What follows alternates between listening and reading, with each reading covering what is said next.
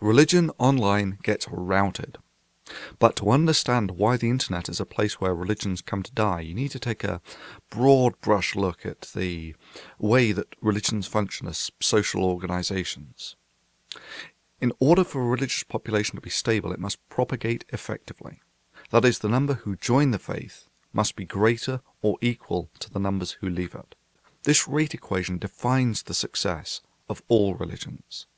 Unsuccessful religions are, by definition, those that fail to propagate effectively.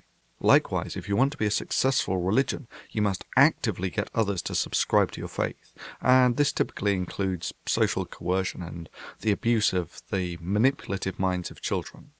I mean, the willingness of children to accept Santa Claus testifies to the universal susceptibility of the child's mind to suggestion, especially by its parents, and its inability to accurately distinguish between a, a comfortable fantasy and reality.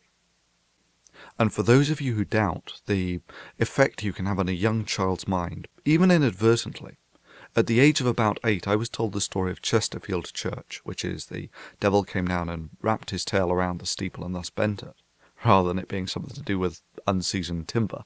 But I remember being terrified at the concept, not particularly of the devil, but of the existence of giant monsters capable of doing this.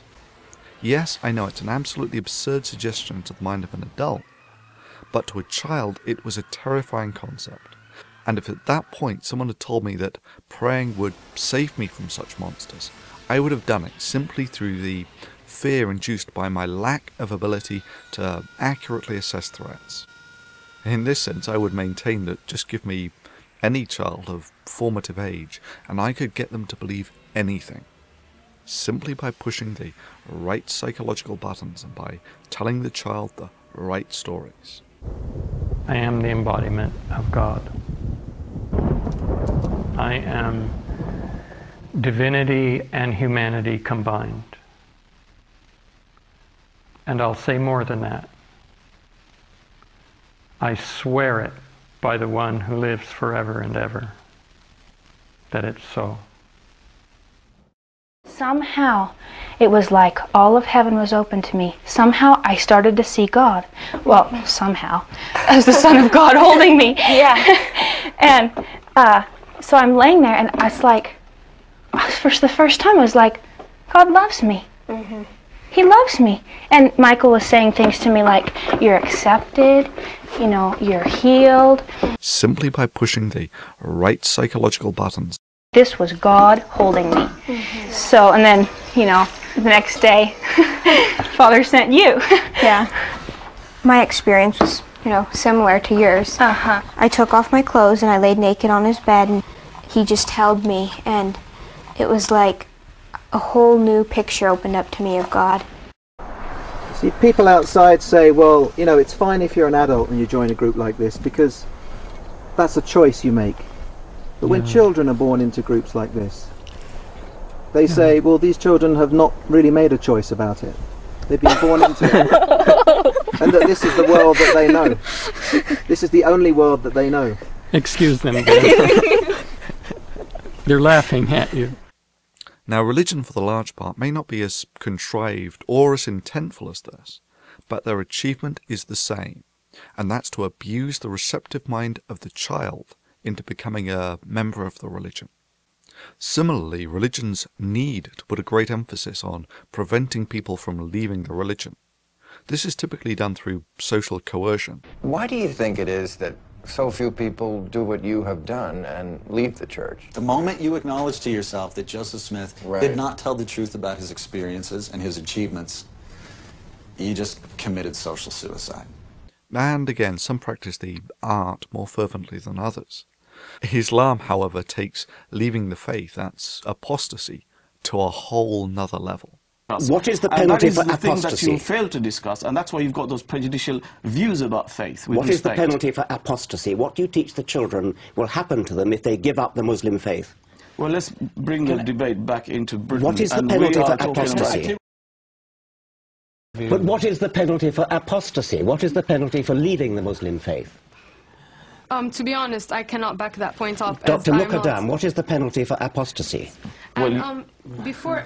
we keep coming down this apostasy. Give us a quick answer on what is the penalty for apostasy. Then we'll come on the audience way. You Sorry? very well know, if it's an Islamic country, then the Sharia is very clear. Apostasy, ap- apostasy is dealt with the death penalty. Thank you, that's Yeah, all I well, want to hear. but- But such harsh treatment of those who leave the faith encourages the remaining to uh, remain faithful. It instructs the remaining members that there is a horrible price to pay for even thinking about leaving the religion.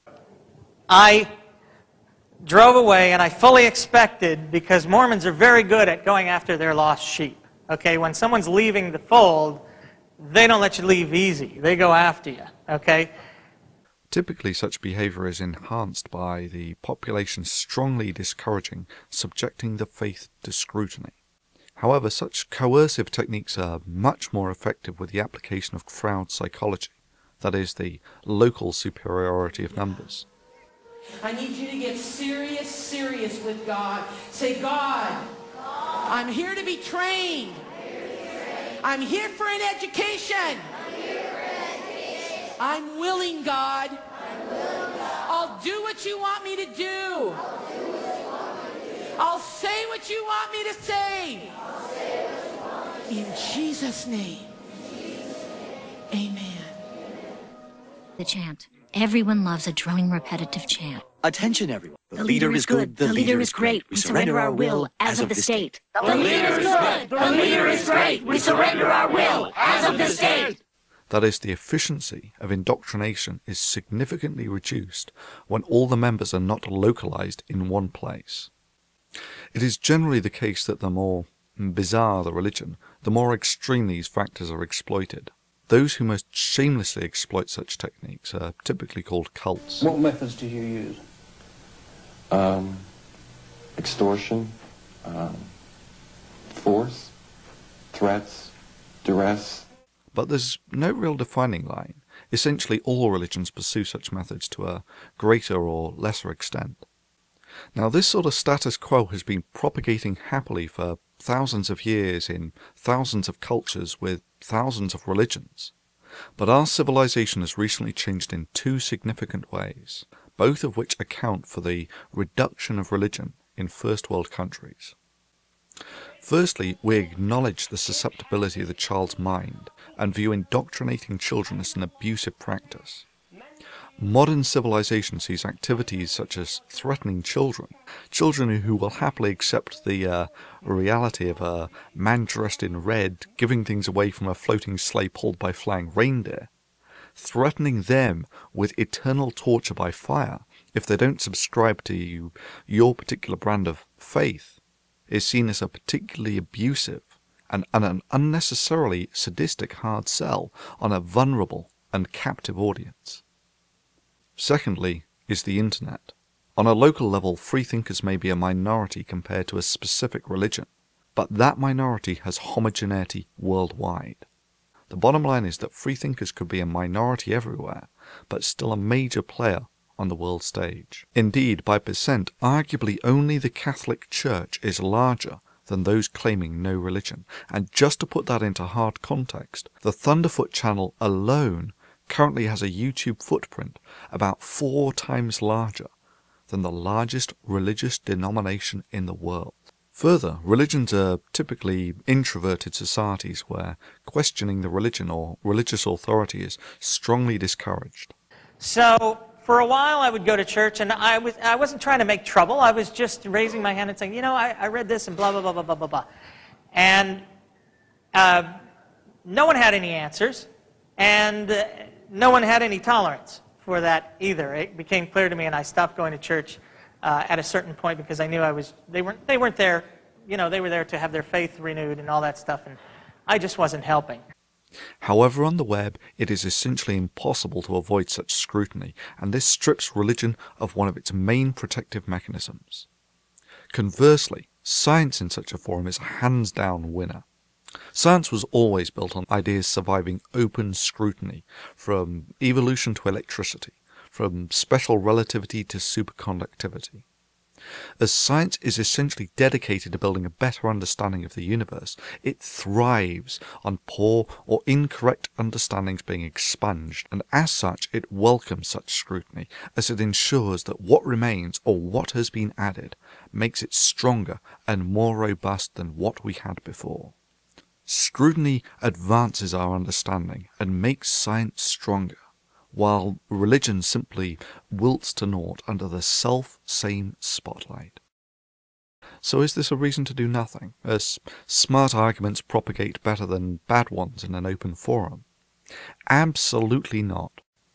The reason religions fail on the internet is because people like you subject them to scrutiny. If it's not subjected to that scrutiny, if it's not put under that spotlight, it will not disintegrate. This is how it works. It's the atrophy of an unsustainable idea by a, a thousand cuts on a wide front that makes the internet simply a place where religions come to die.